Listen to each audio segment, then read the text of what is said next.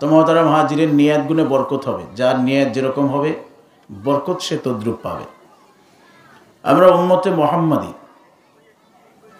পবিত্র কোরআনুল করিম আল্লাহ বলছেন কুমতুম খৈরা উম্মাতিন ওখরিজাত লিন্নাস তা'মুরুনা বিল মা'রুফি ওয়া তানহাউনা আনিল মুনকার তোমরা সর্বশ্রেষ্ঠ জাতি। মানুষের মাঝে বেরিয়ে পড়ো। ভালো কাজের নির্দেশ দাও, অসৎ কাজ থেকে মানুষকে বিরত রাখো। এতখানি মর্যাদা আল্লাহ রব্বুল আলমিন দিলেন শুধু নবীজির কারণে। কারণ আল্লাহ পাক রব্বুল আলমিন তার হাবিবকে এতটাই ভালোবাসেন, এতটা মহাব্বত করেন যে কুচ্ছির ভিতরে বখারি শরীফের বর্ণনা আসছে, আল্লাহ পাক রব্বুল আলমিন তার হাবিবের ব্যাপারে বলছেন, ওয়া উতিনা মিঙ্কুল্লি শাই। আমার বন্ধুকে যা দেওয়ার আমি সব দিয়ে দিছি। জোরে কোন আর একটু জোরে বলেন। আমার কাছে কিছু বাকি রাখি নেই। যা দেওয়ার সব আমি দিছি। আমার বন্ধুর যা যা প্রয়োজন আমি সব তাকে দিছি এতটা ভালোবাসেন আল্লাহ পাক রব্বুল আলমিন। আল্লাহ বলছেন আমি পছন্দ করে তার নাম রাখছি আহমদ। সোমান আল্লাহ বলেন আপনারা কি রাগ করছেন? সোহান আল্লাহ তো আসতে বলেন কেন? জোরে বলেন সোহান আল্লাহ হাদিসে কুচ্ছির ভিতরে আল্লাহ বলেন আমি আমার বন্ধুর নাম রাখছি কি? আহমদ। ওয়া উহদিয়া বিহি বা আদার দলালা ওয়া ও আল্লিমু বিহি বা আদার জাহালা। আমার বন্ধু এমন একটা টাইমে আরবে জাহানে আগমন করেছিল যখন ছিল ঘোর আচ্ছন্ন। জাহিলিয়াতের কৃষ্টি কালচারে ভরপুর ছিল। জেনা, বেবিচার, খুন, খারাপি, মদ, জুয়া। এক কথায় যত ধরনের খারাপি সব ছিল সেই টাইমে। কিন্তু আমার বন্ধুর আগমনের দ্বারা আমি হেদায়েতের আলো জ্বালাইয়া দিছি। জাহালিয়াতের অন্ধকার দূর করে আমি হেদায়েতের নূর জ্বালাইয়া দিছি। জোরে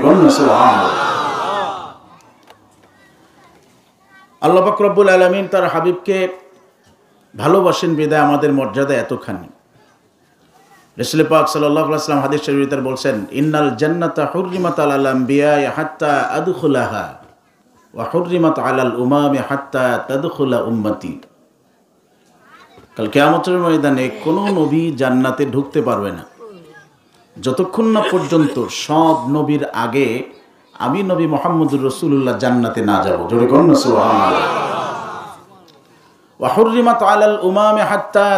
উম্মতি। আদম থেকে শুরু করে ঈসা রুহুল্লাহ পর্যন্ত যত নবী এই পৃথিবীর বুকে আসছেন কোন নবীর কোনো উম্মত জান্নাতে ঢুকতে পারবে না। যতক্ষণ না পর্যন্ত আমার গুনাগার উম্মতেরা সবার আগে জান্নাতে না যাবে। জোরে কোন একদিকে সব নবীর আগে জান্নাতে যাবে আপনার আমার নবী।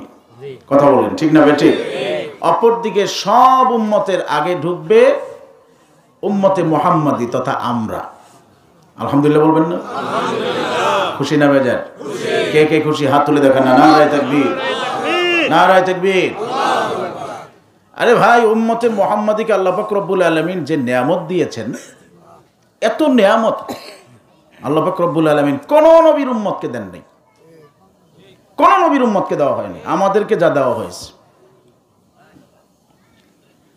সেইদিনা হজরতে মুসা আলাইহ সাল্লাতাম হজরতে মোকাতল ইবনে সালাইমন রদিল্লা থেকে হাদিস আসছে। হজরতে মুসা ইসলাম তিনি যখন তাওরাত কেতাব পড়তেছিলেন, তখন বারবার বারবার শুধু উম্মতে মোহাম্মদের বৈশিষ্ট্য, উম্মতে মোহাম্মদের মর্যাদা, উম্মতে মোহাম্মদের সব উম্মতে মোহাম্মদের আল্লাহর দরবারে এত প্রিয়, এগুলো শুধু বারবার পাচ্ছিলেন। তো ধৈর্য মানায় নেই।